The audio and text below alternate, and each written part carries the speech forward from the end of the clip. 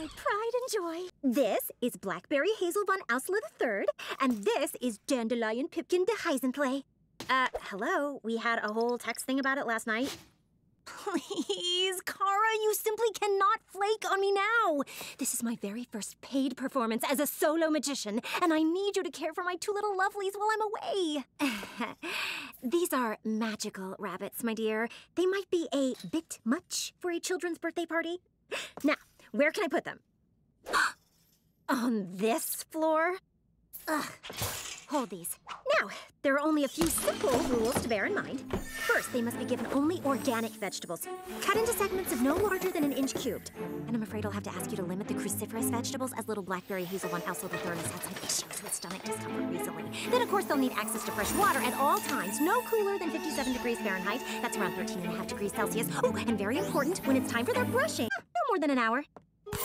Now, as to the brushings, three strokes gently to the left, then five strokes gently to the right. Oh, okay. Oh, oh, well, there is one more rule. This is the most important rule of all.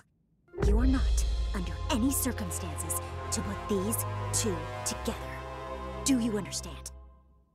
Ah, thank you, Kara. Mommy's gonna miss you, lovelies. See you soon. Bye. Harry, what? How dare you! The only way to stop magical rabbits is with magic itself! Since the cause of all this is the love between Blackberry Hazel von Ausler III and Dandelion Pipkin de Heisen...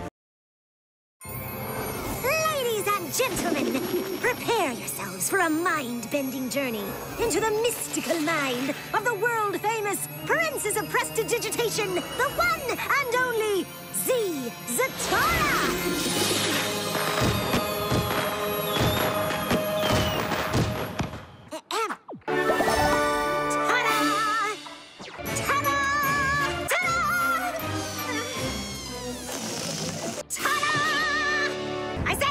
you little cretins! Oh, come on!